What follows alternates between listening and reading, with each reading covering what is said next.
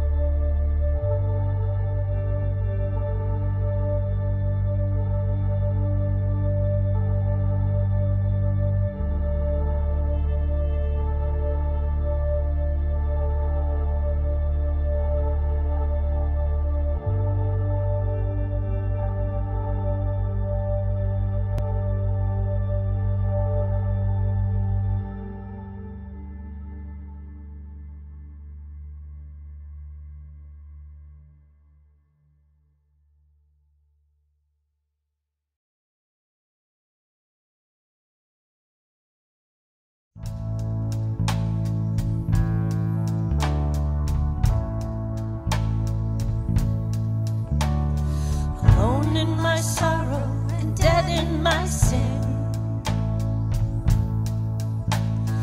Lost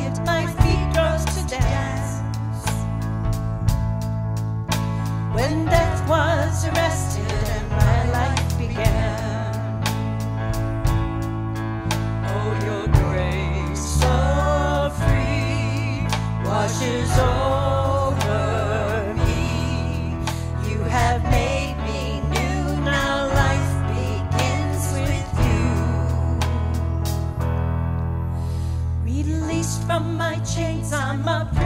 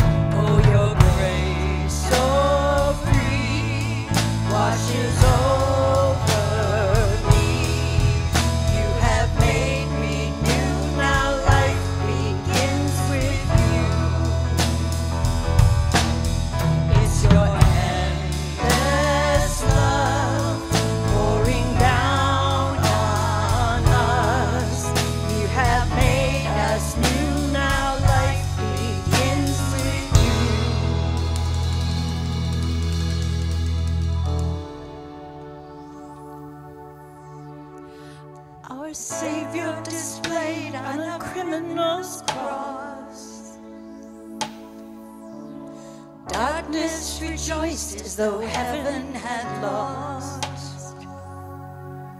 But then Jesus arose with our freedom in hand. That's when death was.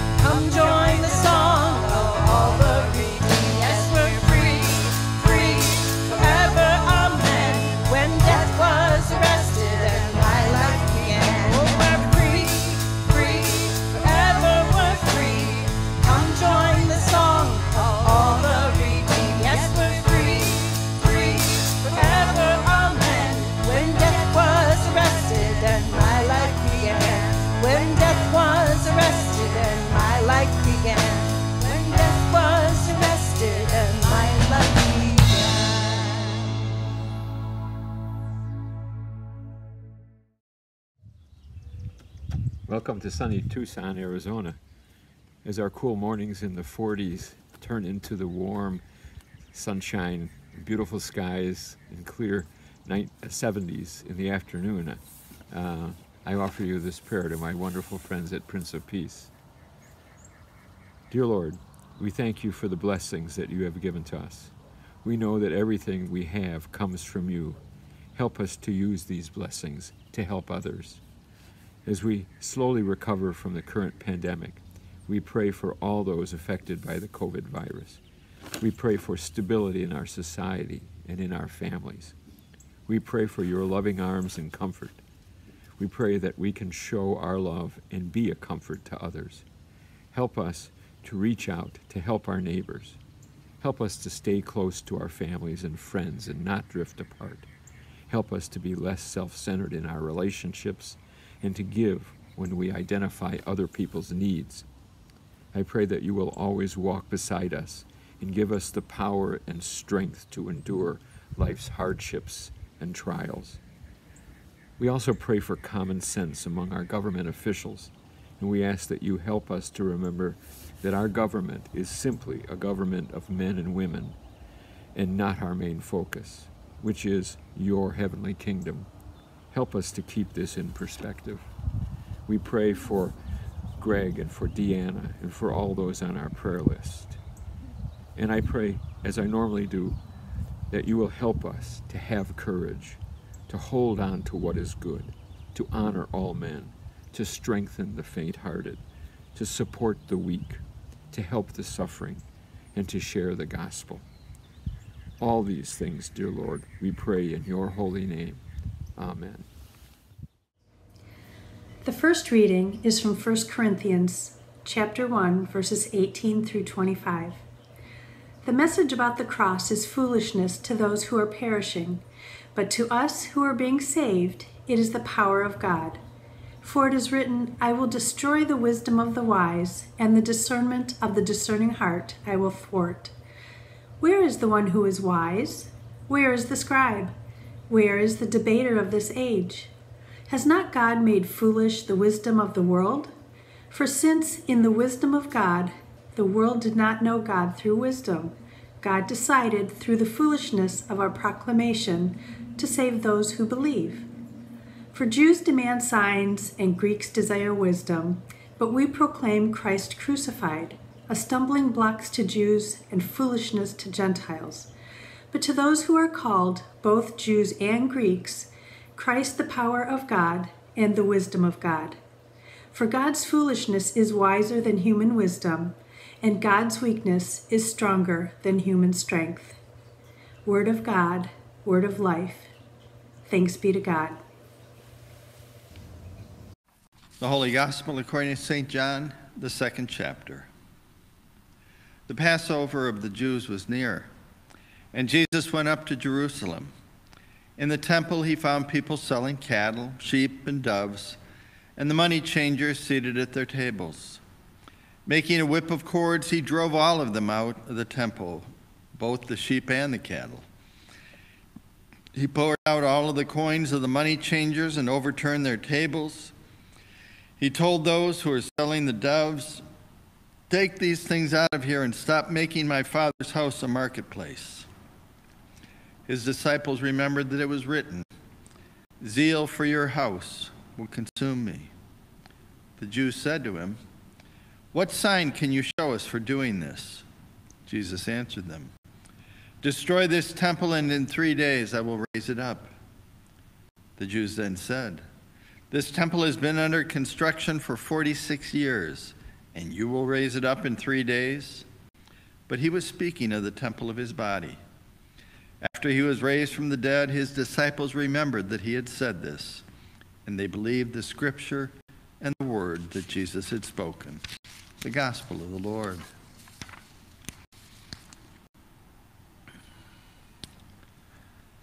You know, as we've lived in different cities over the years, it seems like when folks visit, there's always some site or, or event that they want to take in while they're there. In Atlanta, it was usually the Coke Museum or, or maybe the Atlanta Underground. Here in Cleveland, though, it's often been the Rock and Roll Hall of Fame. To me, going once was enough, but from time to time, we'll take friends who are visiting from out of town to check it out. And when you go, they have almost everything that you can think of. They have Jim Morrison's fifth grade report card. He got straight A's. And the teacher said he showed great promise. There's a couch from Jenny, Jimi Hendrix' boyhood home in Seattle that he began playing the guitar while sitting upon. Kurt Cobain's death certificate. And there was a special display this one year they were there, we were there, and it was about the band Led Zeppelin. And one of their big songs was called Stairway to Heaven. In fact, some consider it perhaps the finest rock song ever written. The words begin There's a lady who knows all that glitters is gold, and she's buying a stairway to heaven. Now, don't worry, I'm not going to try to sing it for you. But the thing that really struck me was the interpret interpretation of the lyrics. You know, what does the song mean? Well, the theme of Stairway to Heaven is, is spiritual liberation. It's the liberation of the soul as it makes the long journey through hell and the physical realm upward to the higher spiritual planes. The song reflects that human values will turn from selfish desires towards universal love and the evolution of the soul. Now, buying a stairway to heaven does not mean that it's something that can be purchased. Rather, it points to the great cost involved in any great spiritual quest. It speaks of shadows, which are sins or negative energy that taint the purity of the soul. And as we walk the road of enlightenment, the shadows will at times tower over us but that will, redu- will reduce as we draw closer to the true light. Drawing on Norse and Celtic mythology, the song speaks of two paths we can follow the path of human desire, or we can listen to the voice of the soul and follow the path towards the eagle, which represents freedom from earthly bounds. The journey of the stairway to heaven is a long one, but the spirit which leads us in our quest is always there, reminding me that there is purity of the soul. The analogy with the metal gold is a reminder that it is pure, permanent, and remains untarnished. And that is the ultimate aim of the soul. Finally, the lady is always there, creating the opportunity for all seekers to take the path of liberation of the soul. That's deep.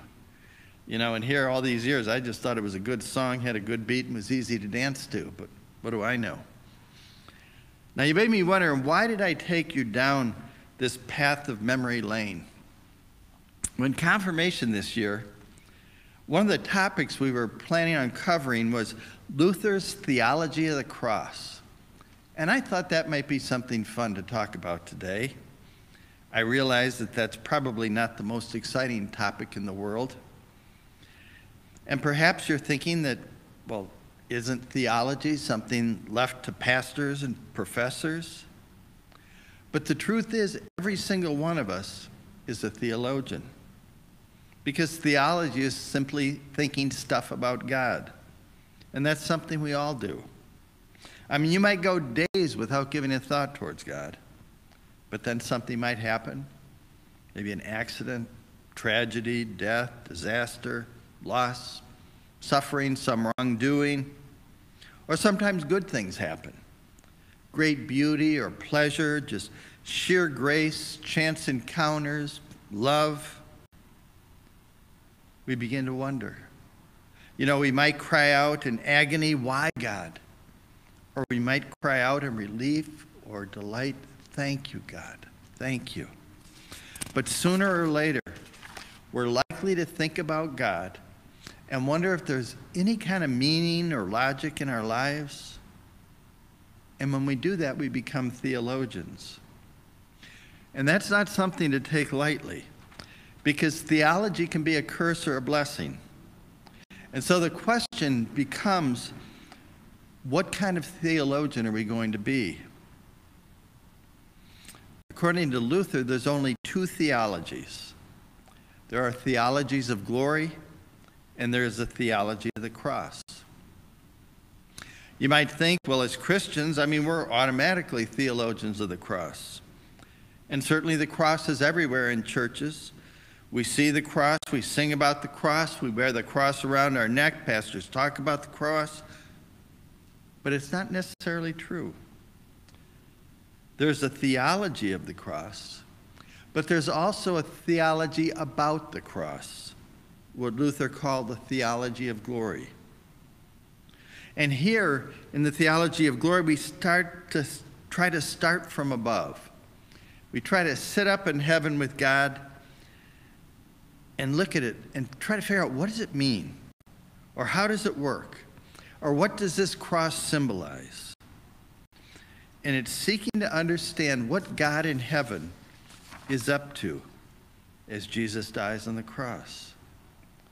And the theology of the cross begin about the cross begins with the glory story. And a theology of glory begins with the myth of the entrapped soul. The story it tells might be told in the stairway to heaven, but the idea is that the spiritual is physical is bad, the spiritual is good. And the human struggle is that we are trapped on this earth trapped in these bodies, longing to be free. And so there, there's a path, a stairway, a series of steps, or some simple knowledge that will help us and guide us and give us the power to ascend the glory road. Now, as Christians, we might do that by beginning with the story of an Adam and Eve. And what do we call the events there? When human beings ate from the knowledge of the tree of good and evil, we call it the fall. We were up here, little lower than the angels, and what happened? We have fallen down the stairs.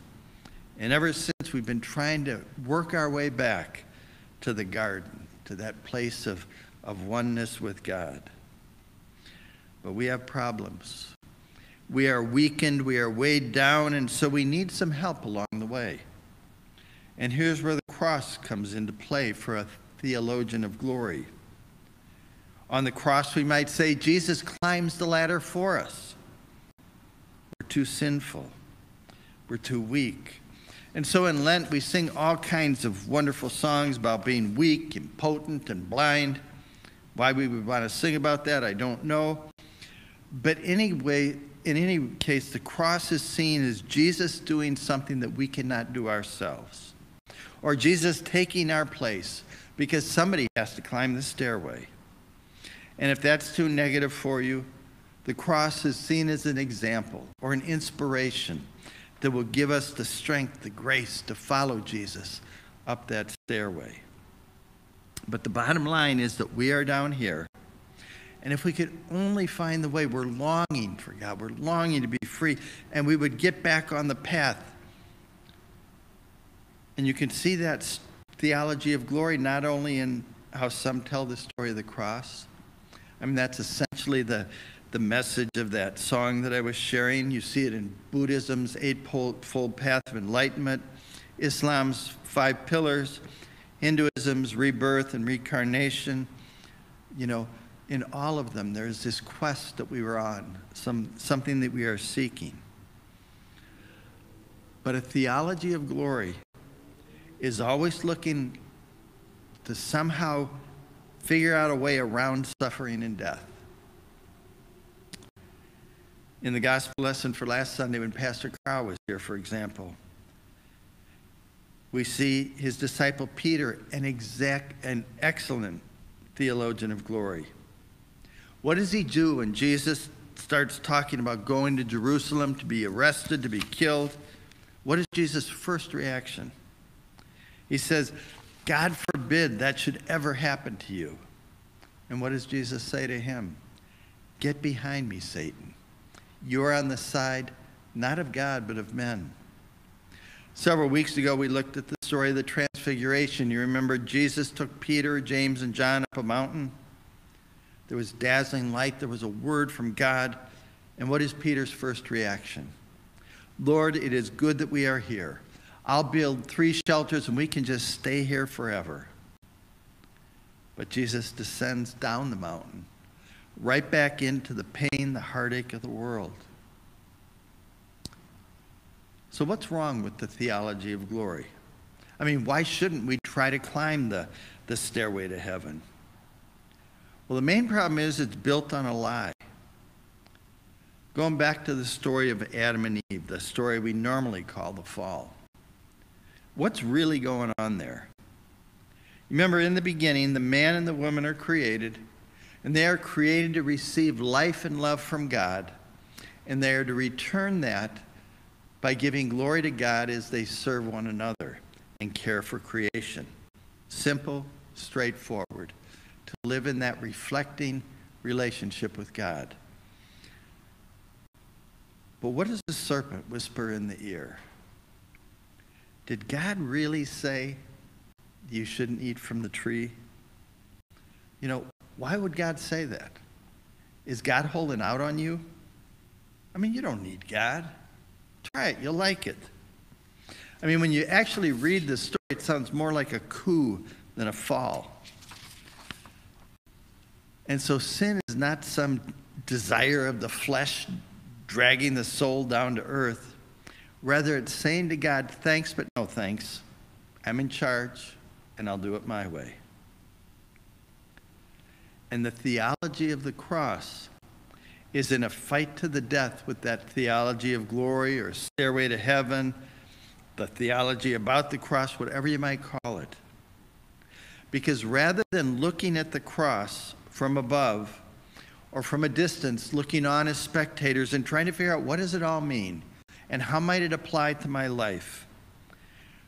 Rather, the theology of the cross looks at it as God's strange works in the eyes of Luther or the foolishness of the cross, to use the words of St. Paul in our lesson for this morning. Because when you think about it, the cross makes no sense to our way of thinking. In fact, it's just the opposite. What does Jesus do? He doesn't climb. Jesus doesn't count equality with God as something to be sought after. Rather, he humbles himself and becomes obedient, even to death on a cross. Rather than climbing, Jesus descends. He comes in lowliness. He dies, forsaken and alone. He is mocked and beaten, spit upon, nailed to a cross, and killed. And there is not a single thing attractive about Jesus on the cross that we would seek him out. In the end, he cries out, My God, my God, why have you forsaken me? The heavens are silent, and Jesus breathes his last, and he is swallowed up in the unknown of death and darkness. A theologian of the cross calls a thing what it is. And that begins by affirming that, first of all, Jesus was not doing anything in his death but dying. He wasn't paying off God, he wasn't giving an example that we are to follow. He was dying. You know, a theology about the cross makes it seem as if Jesus was really doing something else, as though his death had some other meaning than just death. And I suspect the real reason for the theology of glory or stairway to heaven is that we cannot bear the thought of death as the end, of death as death. Because the frightening thing about death is that in and of itself it has no meaning. Death is the victory of darkness and nothingness. Death is a loss of ultimate, ultimate loss of control. You know, I don't know about you, but I cannot bear to think that one day I am going to die and I am going to disappear and the world's not going to skip a beat.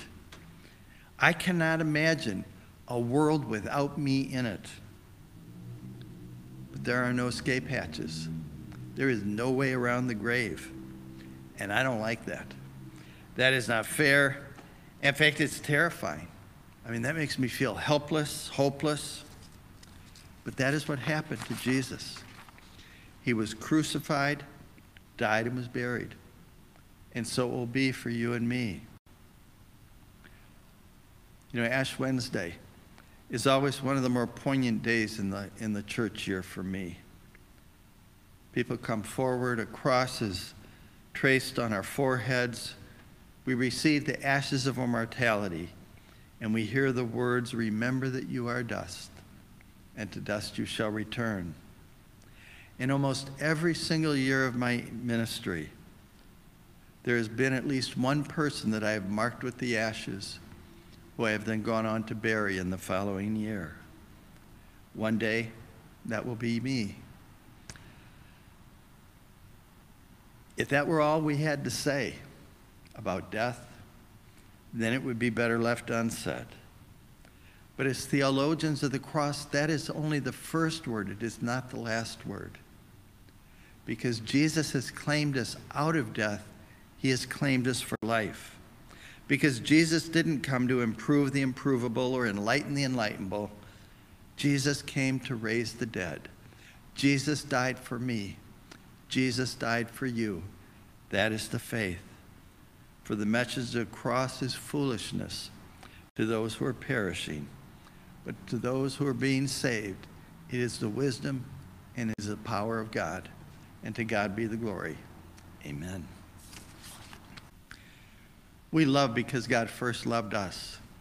Our offerings are always a response to the great and gracious love poured out for us on the cross that Jesus desires to gather us in, to take us from death to life with Him.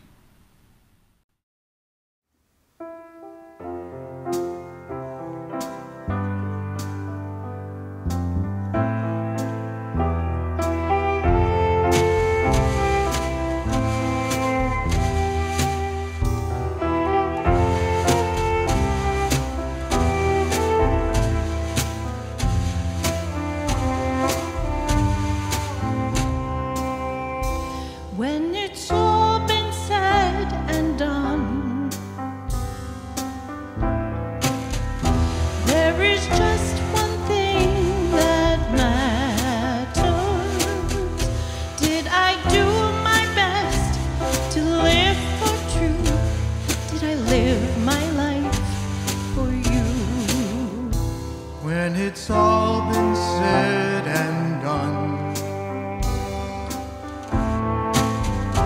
all my treasures will mean nothing. Only what I've done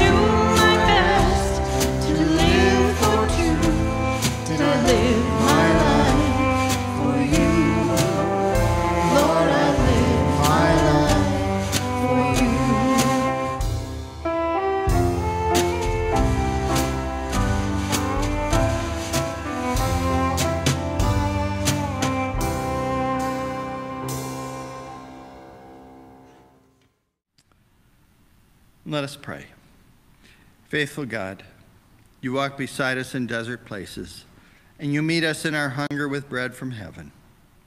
accompany us in this meal, that we may pass over from death to life with Jesus Christ, our Savior and Lord. Amen. Let us pray. Holy, mighty, and merciful Lord, heaven and earth are full of your glory. In great love, you sent to us Jesus, your Son, who reached out to heal the sick and suffering, who preached good news to the poor, and who on the cross opened his arms to all. In the night in which he was betrayed, our Lord Jesus took bread and gave thanks, blessed it and broke it, and gave it to his disciples, saying, Take and eat. This is my body, given for you. Do this for the remembrance of me. Again, after supper, he took the cup, gave thanks, and gave it for all to drink, saying, This cup is the new covenant in my blood, shed for you and for all people for the forgiveness of sin. Do this for the remembrance of me. And Lord, remember us in your kingdom and teach us to pray. Our Father in heaven, hallowed be your name.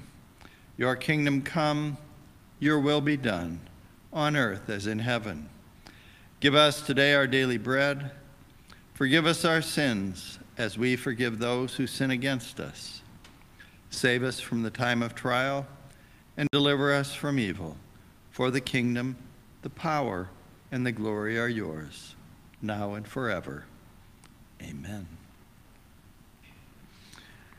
And friends, the body of Christ given for you.